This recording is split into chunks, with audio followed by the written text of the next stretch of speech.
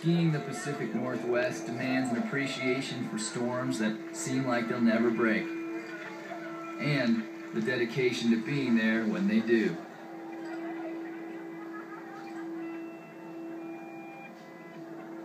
These mountains don't just breed a different kind of skier, they breed whole generations of them.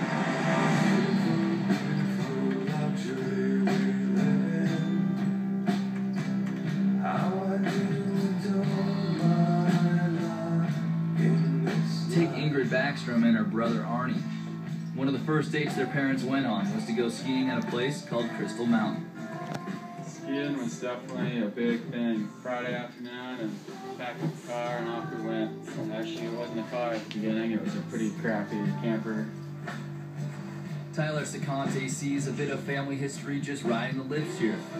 His dad's a local legend who cut his own run a few decades back with nothing but a buddy and a chainsaw.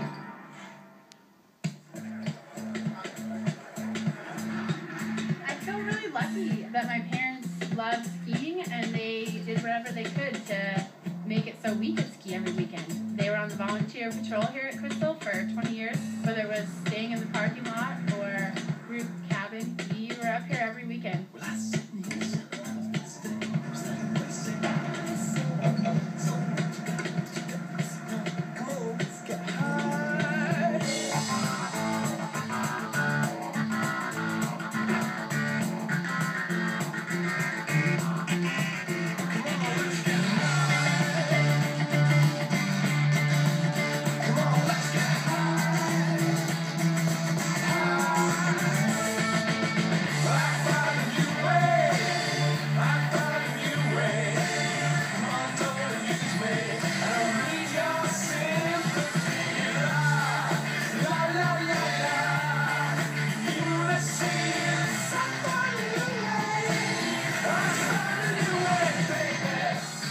Bryce Phillips doesn't have family roots at Crystal.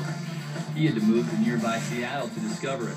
snows every couple days here in the Northwest, so you get a ton of the storm days.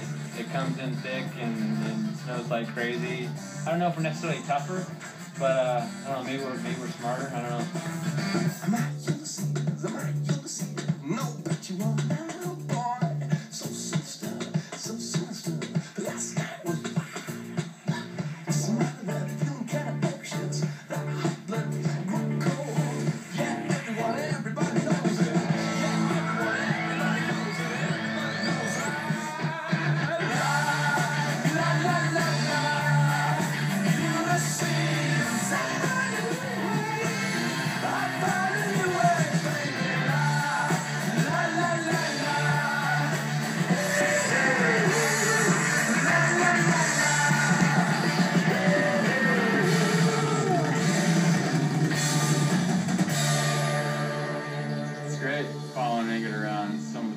I get every season are uh, ripping around the her. I remember like straight lining little chutes when I was, you know, 10 years old.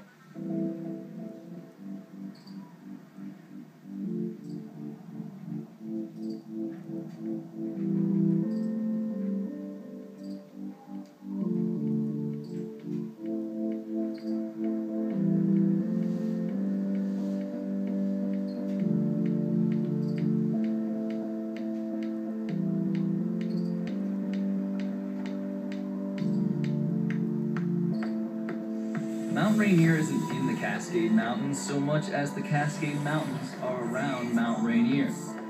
And there's no better view of the most prominent mountain in the lower 48 than from the top of Crystal Mountain. It's the best when you roll up the top of the lift and there's that mountain right there, you know, just looming in the distance. I know a lot of people kind of consider it sacred or they hold a, you know, special place in their heart for it because it's, you know, kind of the, the pinnacle of things, Crystal Mountain.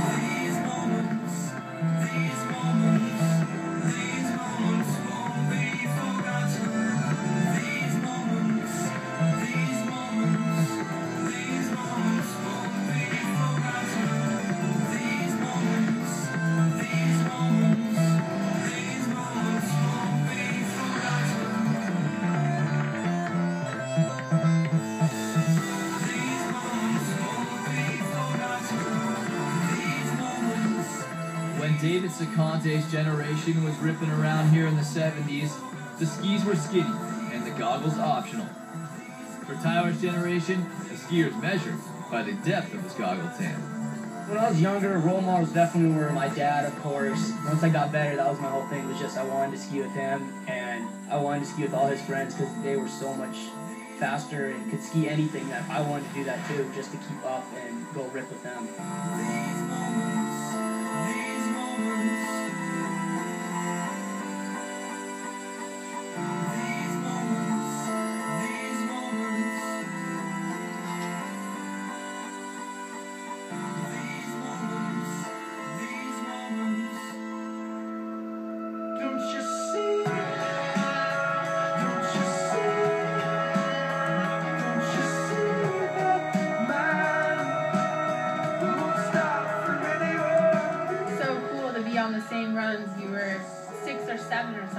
So excited that I went down a certain run, or having your first kind of exploratory runs by yourself with your friends around different spots and kind of coming full circle. It's just great to see all the familiar faces that are still here ripping it up, and um, lots of new ones as well.